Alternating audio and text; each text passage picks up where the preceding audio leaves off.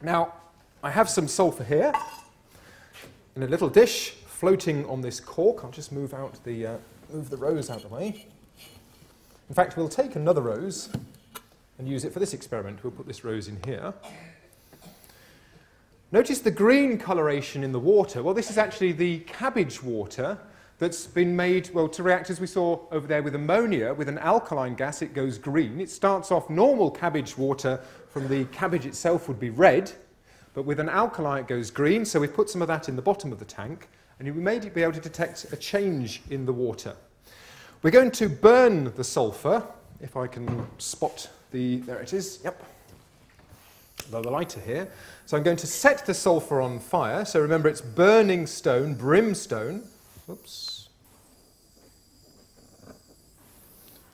So my sulfur is now burning. I'm going to put this jar on top of it.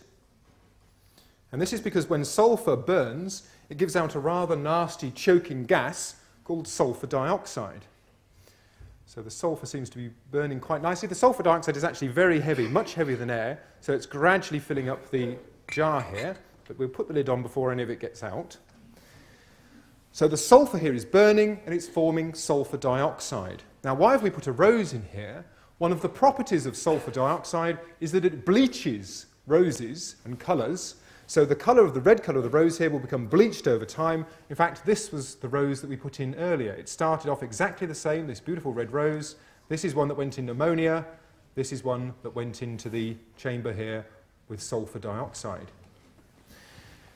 Now, I said that we should be able to detect a colour change as well in the water. We'll have to keep an eye on that. But the chemical reaction that we have occurring here, the sulfur, the burning stone here, the sulfur is reacting with the oxygen that's in the air in this container, forming sulfur dioxide gas. Now, with extra oxygen, sulfur can form sulfur trioxide.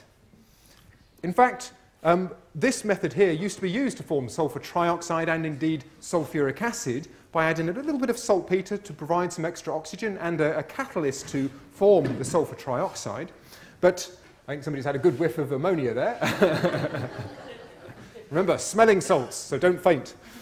Anyway, so sulfur trioxide reacting with water gives us the sulfuric acid.